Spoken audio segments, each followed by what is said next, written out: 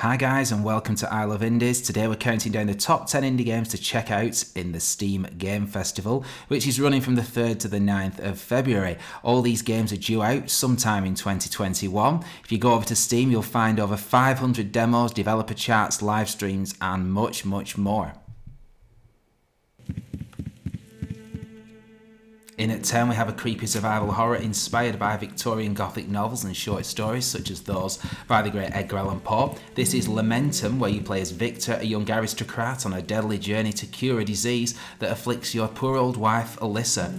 It's inspired by classic horror games such as Resident Evil and Silent Hill, but it has a 2D top down pixel aesthetic. It really does look gorgeous, and it's definitely one to add to your wish list for 2021.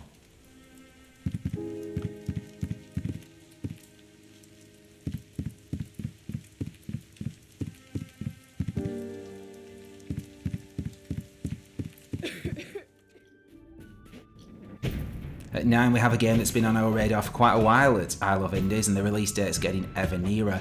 Tunche is a 2D side scrolling beat 'em up with roguelike elements. You play as Rumi and her friends as they try to save the jungle from the powerful Tunche. It's due out spring 2021 and features local multiplayer. It looks stunning, and it's definitely one not to miss.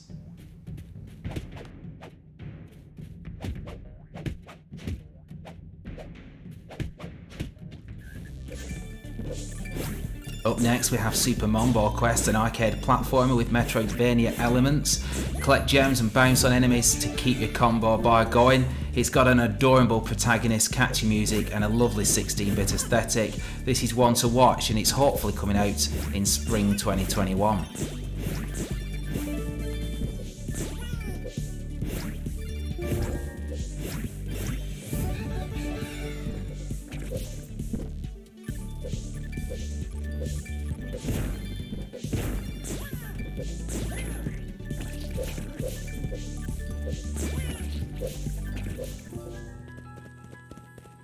One of the best things about the Steam Game Festival is the chance to discover new games you've not come across, and this is one of those for me. This is Beacon Pines. It's described as Winnie the Pooh meets Twin Peaks by the developers. It's a creepy adventure game within a magical storybook where you play as Luca, a goat in an anthropomorphic world.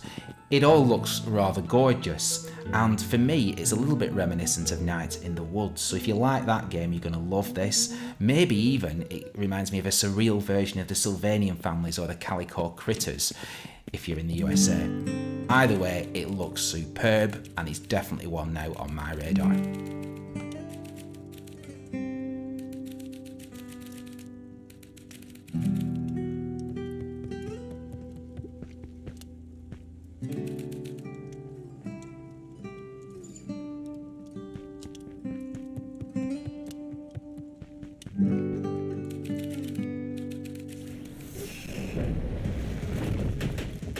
Roguelites are probably my favourite genre, and here's another great roguelite on the horizon. This is Orbital Bullet. It's a 360 action roguelite. It's due out sometime in the spring. Action takes place in a circular pattern, allowing you to shoot around the world, as you can see on screen.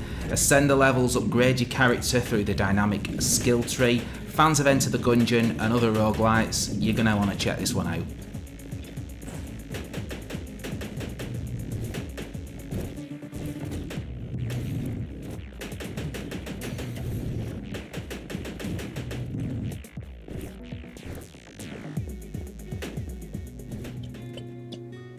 Now for something completely different, we've got Chicory, A Colourful Tale. This game featured in the last Steam Festival. The new demo though shows off much more of the game and its mechanics. You play as a dog with a paintbrush in a colourless world. You use the painting powers of the brush to explore, solve puzzles and make friends. It's a gorgeous adventure and something totally different. If you like paint by numbers, this is one for you and it's currently scheduled for release sometime this year in August.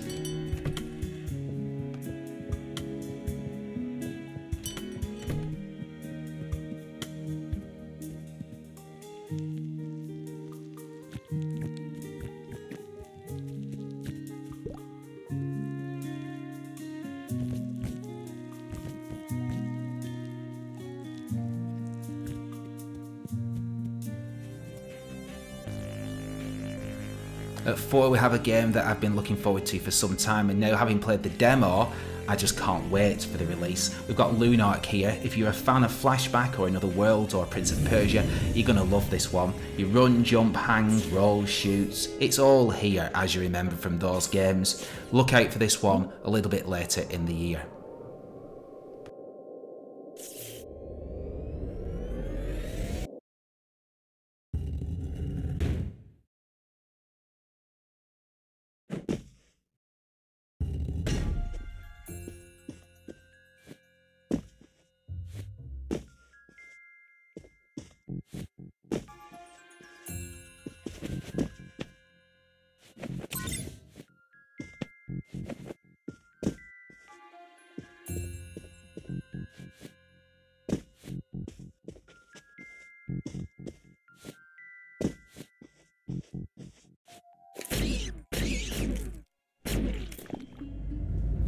So, into the top three of games to look out for in the Steam Game Festival, we've got another gorgeous pixel art indie to look out for here. It's called No Place for Bravery. You play as Thorn in search of his lost daughter. The demo showcases the beautiful top down 2D graphics alongside a very satisfying Sekiro esque combat system. It's going to be out like all of these indies sometime this year, and it's one that I can't wait for.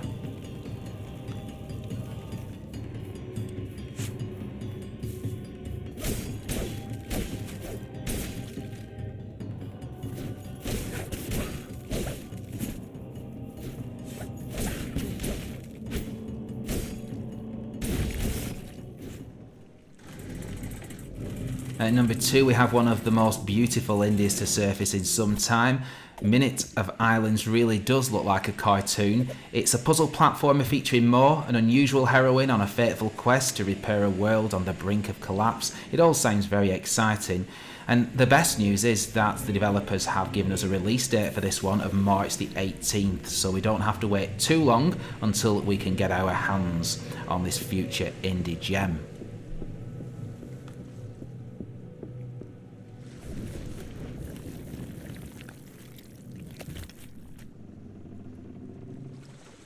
Do not worry.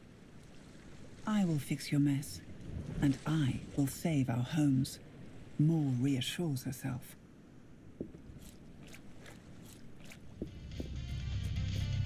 Perhaps the title getting the most hype in this list, and maybe even the Steam Game Festival, is Narito Boy, and deservedly so. It's a platforming adventure with Metroidvania elements, and it is drop dead gorgeous. You play as the titular character trapped in a digital kingdom. You unleash the power of the Techno Sword. How cool does that sound? You have to dance and you have to save the world. The demo really needs to be checked out. Combat is satisfying, character animations are fluid and look so awesome. The music is just sublime. It's an 80s child's dream, this. All of this makes Naruto Boy I Love Indies number one game to play look out for it at the Steam Fest, but also it's getting published very, very soon by Team 17.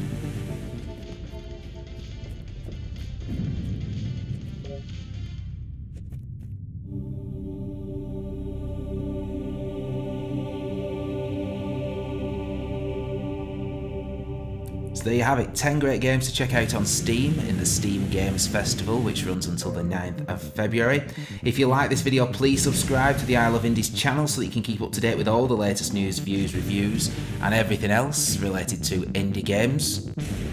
Until next time, guys, keep loving indies. Bye now.